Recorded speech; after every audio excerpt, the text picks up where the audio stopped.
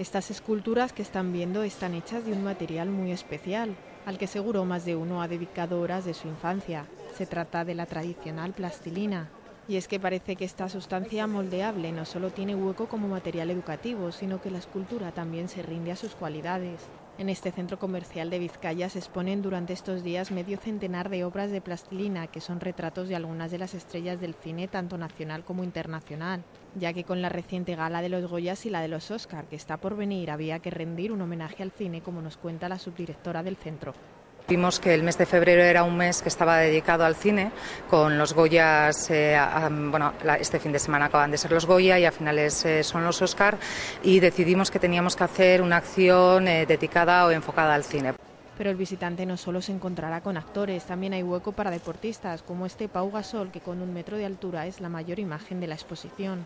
Una muestra para grandes y pequeños que se podrá visitar hasta el próximo día 26.